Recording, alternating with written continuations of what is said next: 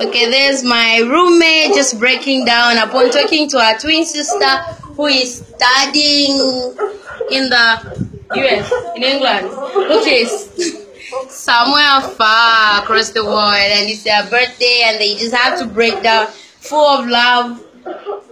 Happy birthday, Rumi! You don't have to cry.